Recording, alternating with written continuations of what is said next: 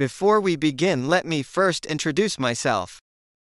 I am Vocab Man. I will share some new and complex English words, with their meaning and correct pronunciation, which might one day help you in your school, college, or corporate life.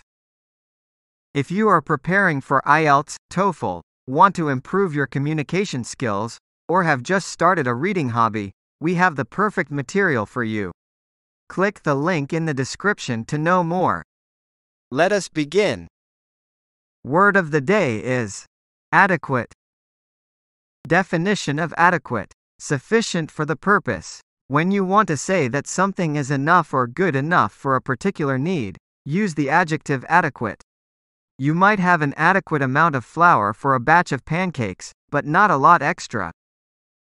Origin Adequate can also describe something that is acceptable or satisfactory, but not any better than that. You might say that a student's grades are adequate but need improvement. This word is from Latin adaequare, to make equal, from the prefix ad plus aequare, to equal.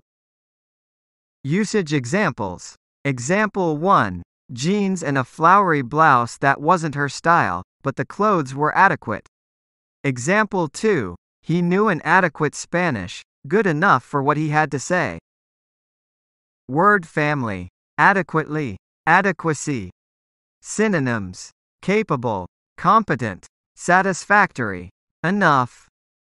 Antonyms incapable, incompetent, insufficient, inadequate. Thanks for watching. If you find the video informative, please like and subscribe for a daily dose of new words.